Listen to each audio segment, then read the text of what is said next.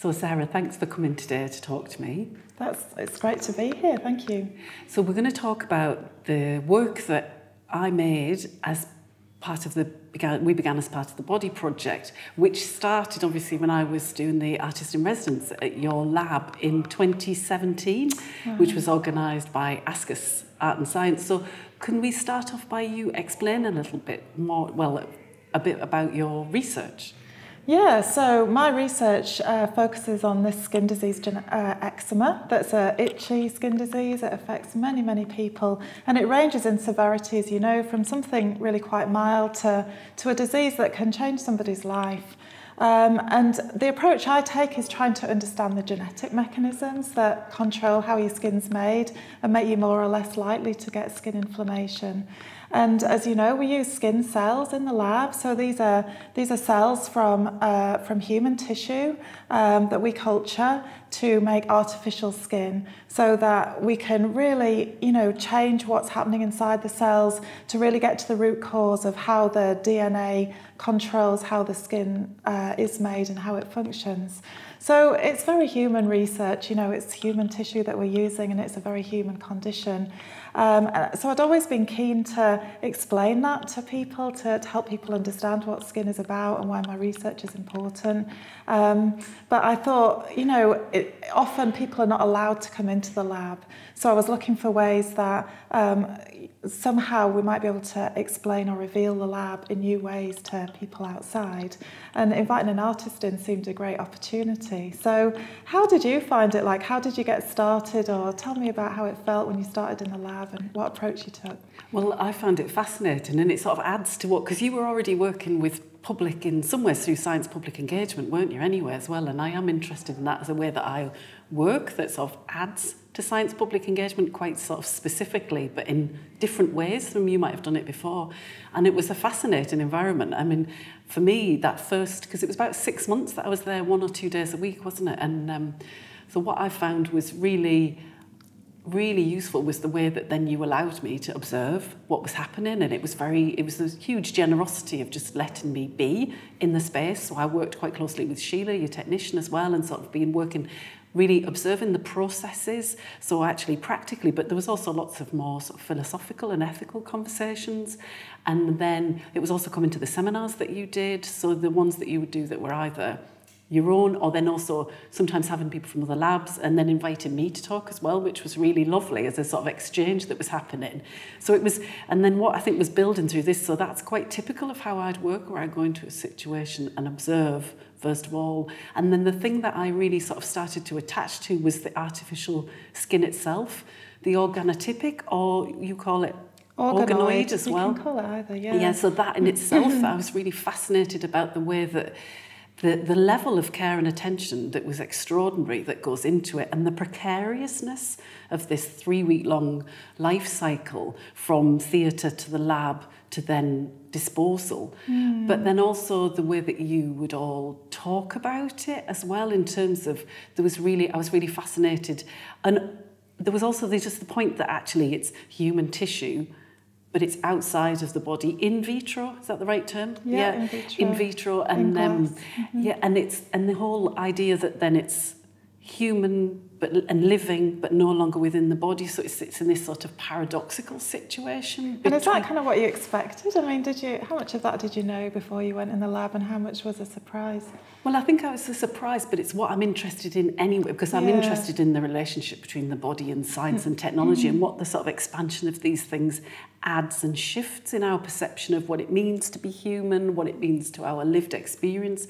But what I was surprised about he was like the, the lived experience that I focused in on was actually the cells not so much. I mean, I was really interested in the staff as well, but I focused on that as this other version of human that was mm. happening in the in the lab. And what I was really curious about as well, so it's the process of analysis that you were using and all these very, very detailed processes Um, but then also the way that you all spoke about it, because you used phrases like whether the cells were happy, didn't you? I mean, that's quite a common way, isn't it? Yeah, you... yeah, yeah. We, we talk about the cells. I mean, they are a living thing, so you do need to keep them happy, just like you would a baby or, um, you know, any any living creature. You have to give them what they need and, and make sure you take away what they don't, what you know, what can harm them.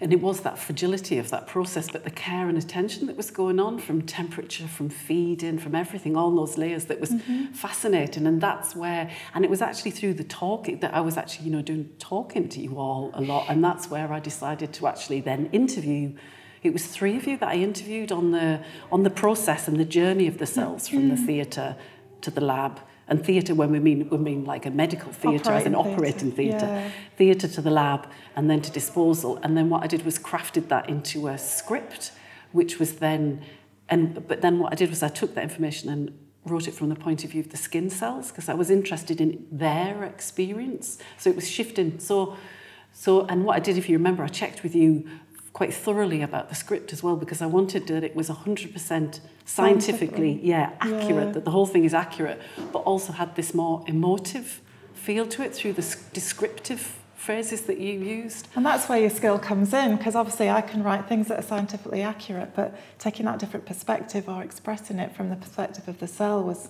not something that we'd ever thought about really. Well, and it's not what would typically be pub- would be published no, in your no. way, isn't it, in your world? So that's what, I, yeah, I was very interested in that as a, as a, and very much the sort of work that I'm interested as well in terms of that emotive, how you can bring emotive to science and technology and bring different ways for people to understand mm. what's happening, but and think about the ethical and practical and philosophical um, issues around those situations. So then was then, if you remember, I used the the speech synthesis voice, Heather, which is the only Scottish speech yeah, yeah, synthesis yeah, voice, cool. to then sort of bring the script to life, uh-huh. which is a, then become a key element of the exhibition here because that that's a key part of the soundtrack for both the film and the AR, the augmented reality app. Mm-hmm, mm-hmm. And um, then I think following that, it was also then working quite closely with yourself and other staff about um, actually to create these, yeah. the 3D printed skin cells. Mm-hmm. So these were you'd very kindly given, allowed me to use a sort of extra of your um, cultures, wasn't it? Mm-hmm. Mm-hmm. And then do you want to talk a little bit about that process? Because what I used was it was confocal microscopy, microscopy. wasn't it? Yeah, yeah. And do you want to talk a little bit about that process, how it fits in with the lab? Sure. So we grow skin cells all the time in the lab. Um, like I said, you know, we, we use um, keratinocytes, the cells are called, extracted from real human tissue. And obviously we have consent from patients uh, that kindly donate their skin when they're having surgical procedures where skin might be removed and it would otherwise be thrown in the bucket. They get, with, with their approval and their, um, and their consent, they allow that skin instead to be brought to the research lab. So then we can extract the cells. We culture them um, in, in, in, a, in a pink liquid that allows the cells to grow. And keratinocytes, the skin cells, always want to kind of join together, settle down and form layers because this is how the skin's made. The cells very much join together and then grow up into layers. Um, so the tissues that we gave you were exactly that, skin cells that had been allowed to settle down onto a surface and then start to form layers. And it was Martina that helped. She she labelled the cells with antibodies that, um, that, that are uh, specific proteins that attach to another specific protein. So we all know, you know, antibodies react against infection, but in the lab we use antibodies to react against a special part of a cell. So you can tell the antibody to, to, you can design an antibody that binds, that sticks to either the centre of the cell, the nucleus, that's what these are, or um, the skeleton of the cell, kind of literally the, the, the, the structure of the cell to show the shape, and that's what these are. And the antibodies are proteins that have a fluorescent tag on them. So then when we shine light on the fluorescent tag, you can see where the protein is bound.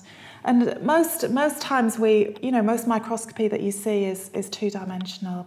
But we can make three-dimensional images using what's called confocal microscopy because that's a technique where it focuses at a specific layer in the in the tissue so not just looking not just cutting through one section but focusing at different layers and then using those images to, to reconstruct a three-dimensional shape and uh, that so that's what you were able to do with the skin cells specially labelled to show different parts of the cells, and then the confocal microscopy to layer it up to make a 3D image. And I know it was Paul, Paul that helped you with that, wasn't yeah, it? Yeah, it was Paul Appleton, because for me as well, what was really interesting was it was like a bridge, working with the confocal microscopy. It was a bridge from early um, research that I'd done when I'd first come in, where I'd gone into like the collections as well at the University of Dundee, and it was there was some stereoscopic imagery in there as well, which was that classic of oh, yeah. that actually, had, I mean, that you could only really use within a stereoscope now, but had been used previously as teaching aids that would be projected as three dimensional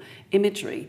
And that I was really interested in that alongside there was 2D illustrations, which would be more the classical things, and then things such as this 3D model, which is then from your office, isn't it, which you very kindly loaned us to put into the exhibition.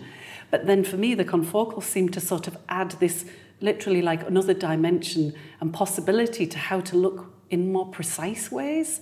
At that, whereas a lot of the stuff that I'd been looking in the um, collection seemed to be seen more homogenous, whereas actually with the confocal you could really see the sort of individual nature of the cells very clearly. And it was so then it was working with Paul Appleton in the imaging facility to then try and find a way because it wasn't a typically used way although they had these slices and they would build into a 3D shape potentially digitally it wasn't something that was typically done where that was actually taken out into sort of a CAD type file which actually as Paul and I worked on it we did then find there was something was released that basically did it right at the end of the uh. process after we'd gone through it lots and lots doing a pipeline of yeah. but it was but it was a really interesting process of trying to take that three-dimensional data from the confocal microscope and actually then take that into a CAD style software that would then 3D print it and that's the results here. So Bev, it's a classic example of an artist asking difficult questions which you did repeatedly. I don't know if I've ever told you this but I asked Martina to remind me about the uh, the green labelling and we were both reminiscing about the, the questions that you came to us with how can we do this kind of look at the cells in this way and we were constantly tearing our hair out trying to trying to understand the artist and give you what you needed. Because, yeah, the way we use confocal, it does make 3D images, but we tend to use it to understand the 3D structure by looking at it in different layers rather than putting them all back together. So you're absolutely right, the CAD file, that's what we had to extract. Yeah, yeah, so that was the different way. And then the sizing as well was that these are actually 2,000 times larger than life. Because yeah. obviously in microscopy, you're looking at them on sure. a larger scale, isn't it? But and I think it was... You don't get a feel for it. No, no and it's, so. it was to try and give them that... Um, handheld physical relativity so that people can see that they're obviously clearly magnified and it's part of the exhibit that it will say it's 2000 times larger than life but that also people get an understanding. And i think what and we had some really interesting conversations about this as well about what how then i display in them which is because I mean, I was really struck as well from what I, the, my sort of way more limited knowledge of scientific illustration, but how homogenous things normally would seem, and then how individual, yeah. and really understanding that the cells are individual in themselves, mm-hmm, mm-hmm. but then there's also the going through differentiation as well, which is what I've tried to, in the larger exhibit, when that's on, it'll show in the process that that's done as a horizontal way. But can you explain? So yeah, I mean you can see, so these, as I say, the green stain stains the whole shape of the cell because it's like the skeleton that gives the, the cell its, its 3D structure. And you can see just by looking at them, the very different shapes. So the reason for this is keratinocytes or skin cells at the base of the, at the deepest level of skin start off being, being quite plump and round. Um, and then as they divide and move up through your skin to the outermost layer, you can see they get flatter until the very surface cells are really quite flat. So these would be quite close to the, to the outermost layer of the skin. And then even after this, in, when we develop the, the full skin model, even after this layer, the, the cells get even flatter again and then they can shed off the skin surface in real life. Um, so that's why they don't look the same. It's because they're going through different stages of development or different stages of differentiation. The nuclei, so this, this would be what has controls the, the cell. Has the DNA inside it. The nucleus of the cell would be deep inside. Um, and again, even the nuclei are different shapes. Some of this is an artifact, the way you're, you know, really just seeing it um, in one uh, second, uh, split second of time. Um, but the nuclei do vary in size and shape, and as the cells reach the skin surface, the nuclei are destroyed and lost. Um, so yeah, for, for me, as you know, I spend my life studying skin cells, but to see them as a 3D object, you do see them in a different way, and it's quite nice that it's 2,000 times life size. It's, uh, it's pretty pretty mind blowing. And you have a set that you use now, don't you, in Yeah, science yeah. public engagement as well, which was a really lovely sort of loop that that made as well, that it's actually been used in both. It's both been used in exhibitions, but it's also been used within science public engagement as an extension of the lab's work. It's it's a great way to talk to people about skin cells to say here they are. yeah. And then as a follow-on from that, then I was interested really because I found the, the whole sort of situation so fascinating that I really thought about that early sort of parts of it as initial research objects. And then I was interested to continue it as then we sort of kept that conversation, although I wasn't working in the lab so much specifically at that stage, it was we were still in touch, weren't we, about actually continuing the work. And what I was interested was really to add, which is very much part of the featuring in the exhibition at Summerhall, is to add ways to bring an audience into the lab, but in ways that were not necessarily about a sort of didactic, instructional, mm-hmm. informational mm-hmm. way, but that sort of trying to enable people to think about those more sort of poetic, ethical questions that the lab raises, because it's very complex what's happening in the lab, in both practically and in terms of those sort of ethical, scientific questions that are happening.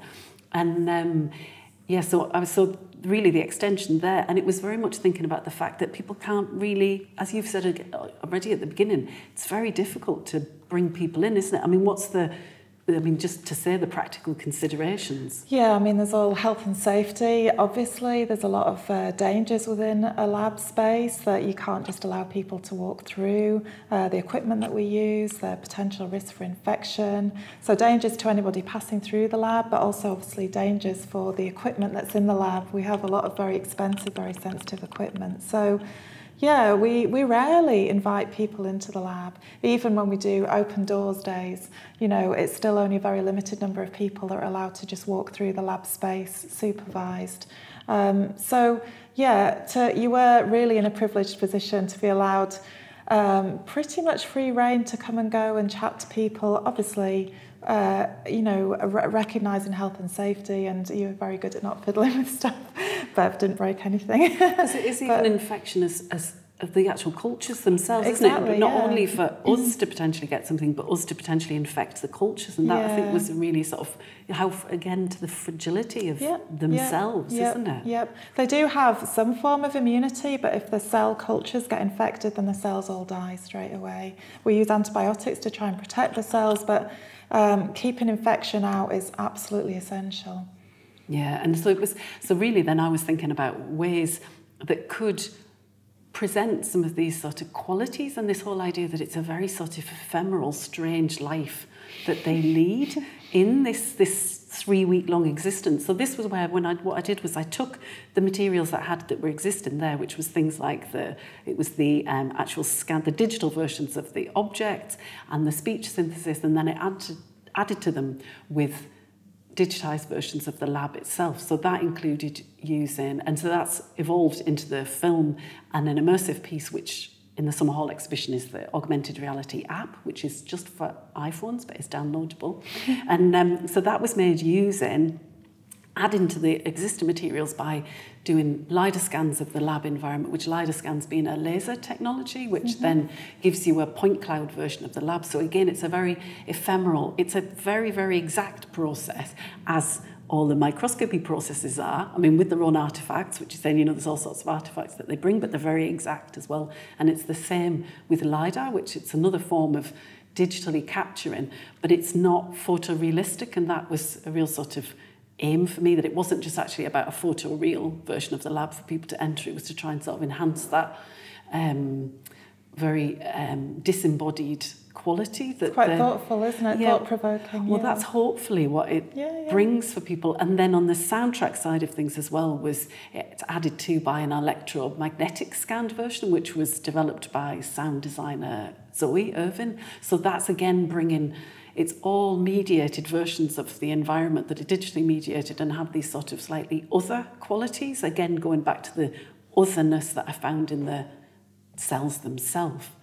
So that's what's then present, going to be presented as the projection and the app as part of the exhibition. And then um, it was then to sort of say as well that the other things that are going to be exhibited alongside are some of the things we've got here as well, which some of the things which I was really interested as well around the collection that you've got now having moved to the University of Edinburgh from the University of Dundee.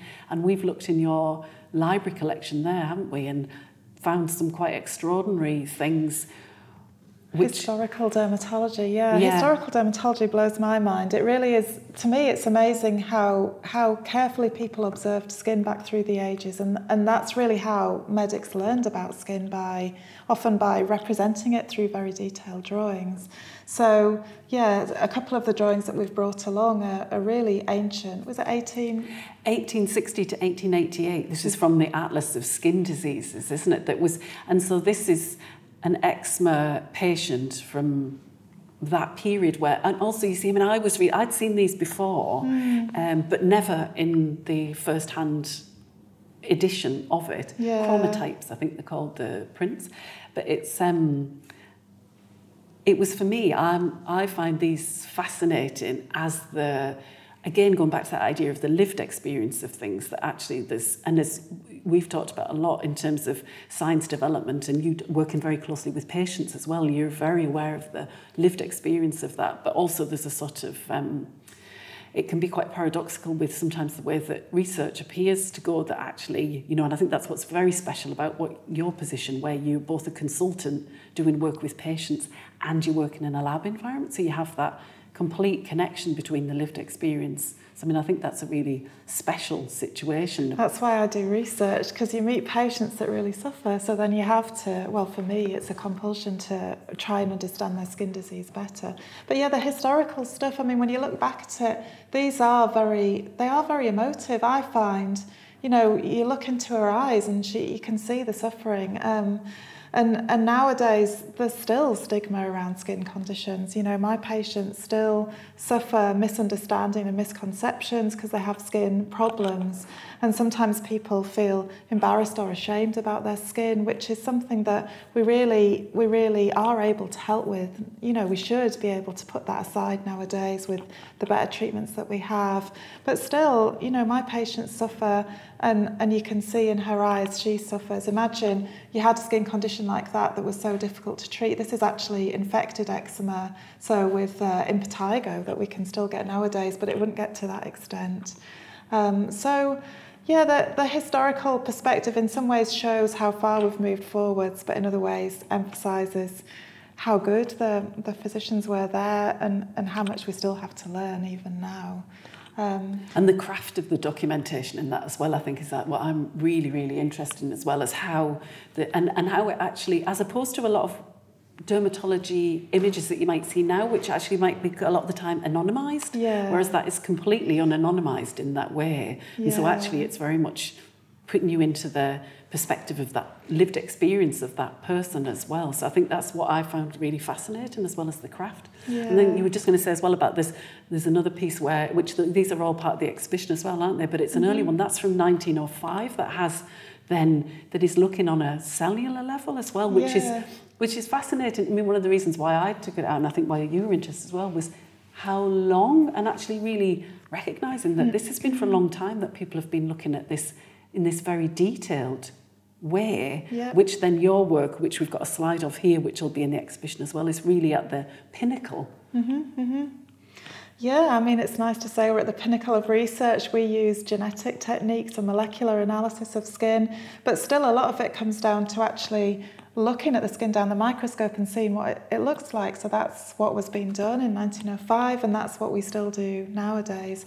And again, this is this is a slide from a scientific talk that you know is totally up to date. It's a, a talk that I gave recently showing um, the organotypic culture. This is the artificial skin that we grow, and comparing it to to normal human skin, showing that the structures are, are similar. That we can the artificial skin does truly form a good model of the of the normal human skin. So you know, in some ways we're very clever now. We can use molecular analysis, but in other ways you know, carefully observing human beings and looking at skin down the microscope is still very fundamental to understanding what causes disease at the at the deepest at the deepest level. And I think this is one of the things that was really key to me and my interest in the organotypic culture as well. And it is part of the soundtrack as well, because it was very much the explanation where you talked, because for me, it looks so similar to human skin that would be inside the body. but it's like that sort of smoothed over without fat cells, hair fibres. Yeah, so things. So that's and I, and I found that really fascinating, and yeah. you can see it within the slide itself. Mm, yeah, and you can see as well. You know what we were talking about the differentiation. The cells at the base are quite plump, and then as they as they move up, they become more differentiated and become flatter. And this is where the three weeks comes from. Do you know that the time course that the the skin cell tells the story? Um, it takes a full three weeks from extracting the, the skin from human tissue to recreating the organotypic culture takes three weeks. And then, you know, in theory, we could keep, keep them alive for longer, but after that time, they start to uh, become less good in terms of structure and function. So at around three weeks, we, we destroy them because They've been incredibly valuable. The images live on, but the, the living tissue begins to degrade, so, so it gets destroyed. It's fascinating. It's really fascinating, and I guess it's that thing as well of really acknowledging then as well, isn't it? The the donors as well in that situation. Mm-hmm, I mean, how mm-hmm. valuable they are to you as well, isn't it? It is literally gold dust. You know, we couldn't do we, we can't do human research without human beings agreeing to contribute, and patients do that, and people undergoing surgery that don't even have skin problems do that as well, and it is invaluable. And every respect and gratitude to them.